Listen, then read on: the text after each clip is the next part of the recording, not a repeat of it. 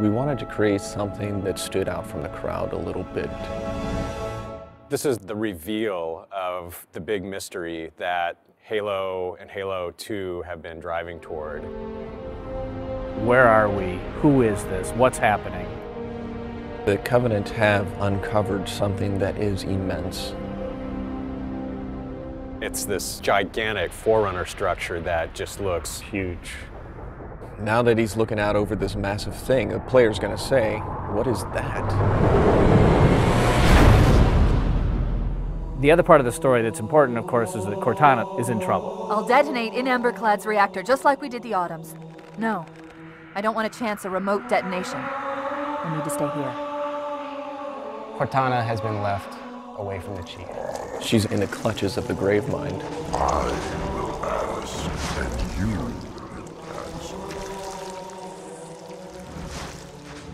All right.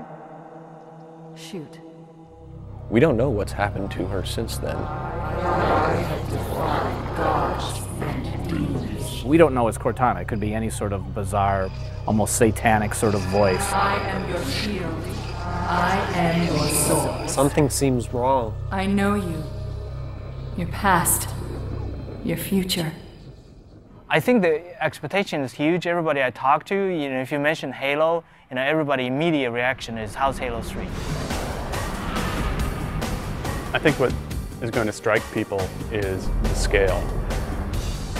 That's real stuff way out there. I mean, we pushed it as far as we possibly could push it. We always wanted to have that epic feel, but due to the, the limitation of technology, you know, it, it always fell short.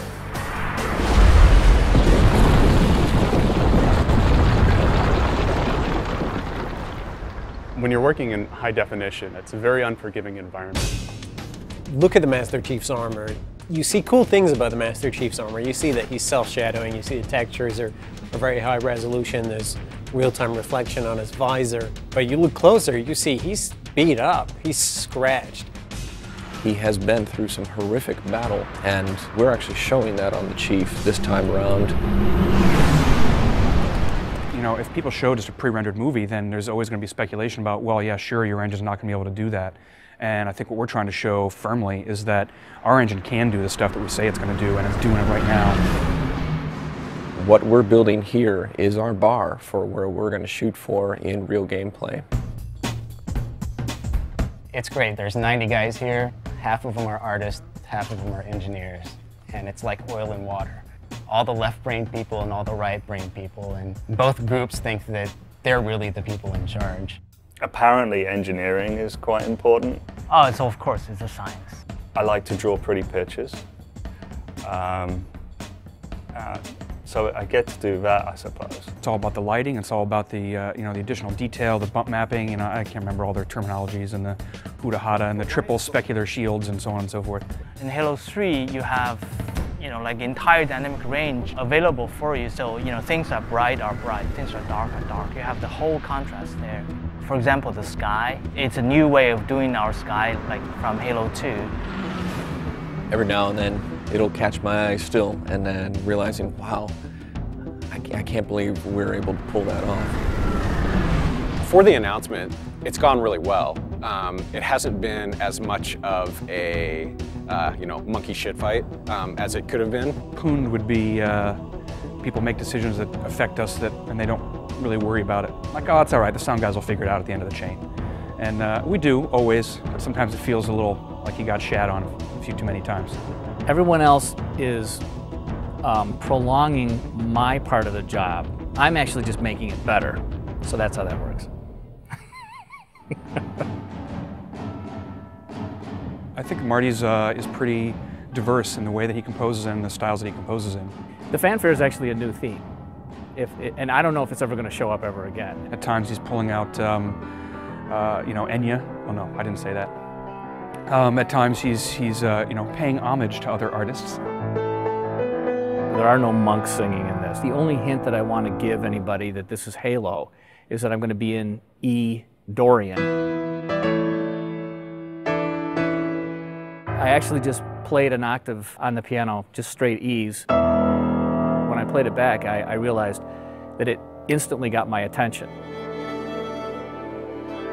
For this one, we, we really had we had a great session with uh, live orchestra, which is uh, a bit above and beyond what we've done in the past. Master Chief is coming out of a desert, blowing heat, wind, completely obscured. So I wanted it to sound almost ethereal, just to bring some tension in and then have it open up slowly. The music and the sound is all about the drama. I'm just trying to absolutely score the drama of this moment. I mean, I think in the end, you're absolutely going to be able to play exactly what you're watching in this trailer.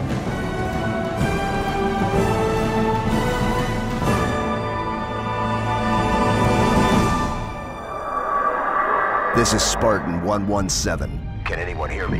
Over. Well, we had such a great ending to Halo 2 where Master Chief said, I want to finish the fight. Master Chief, you mind telling me what you're doing on that ship? Sir, finishing this fight. Which uh, had most Halo players universally screaming and throwing their controllers at their TVs because they didn't get to finish the fight. well, I, I didn't say anybody threw their controller. They might have dropped it in, in amazement. You won't just finish one fight, you'll finish all of the fights that you started in Halo 1.